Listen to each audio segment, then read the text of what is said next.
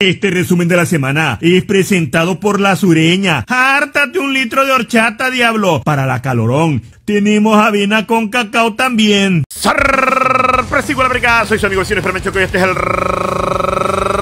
resumen de la semana. Lunes, el general Hugo Chávez. Huele a azufre todavía.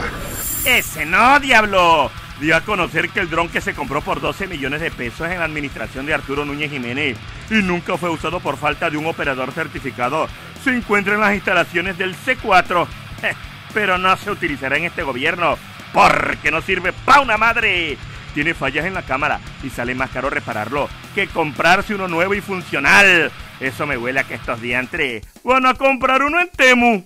Mm. Martes comienza el desmadre de las elecciones en Estados Unidos y todo el mundo está más nervioso que el mismísimo Estados Unidos. El peso se desmaya, Nuevo León lo agarra feriado. Kamala Harris que relevó al ancianito Biden que seguramente se le olvidó votar contra la toronja con pelo de sobaco Donald Trump. Los gringos votan, los mexas no entendemos ni verga del sistema de votación que usan los esos diantres. Nomás vemos puro maldecido puntito rojo y azul. Y al final, ¡ja! Al final, llega el miércoles. Se cierran las votaciones y Donald Trompeta le dice a Kamala Harris: ¡Sácate a la vergation! Y por segunda vez el diablo este es el presidente del mismísimo Estados Unidos.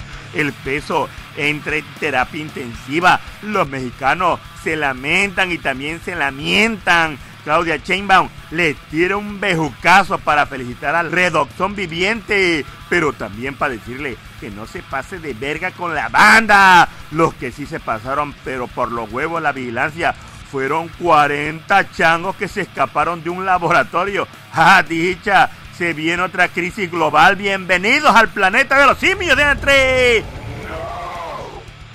Jueves, día negro para el deporte internacional.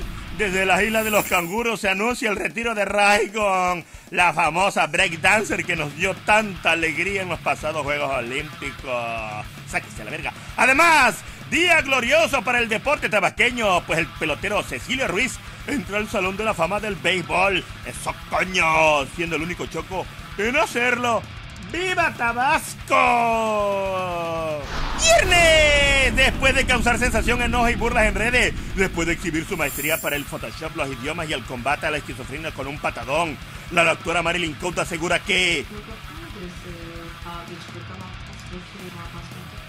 Lo que en español significa que las críticas son de gente envidiosa y que solo alimentan su ego. Mientras tanto, la fiscalía asegura que mucho tuitazo, pero no hay una sola denuncia en contra de la PhD. Marilyn Code asume ¡Zapata!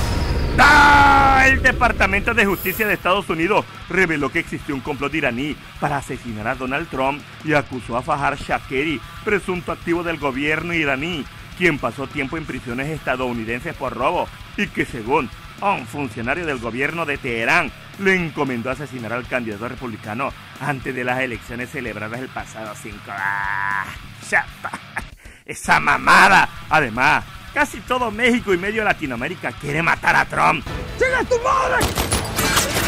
Dejen de andar chillando, y puta.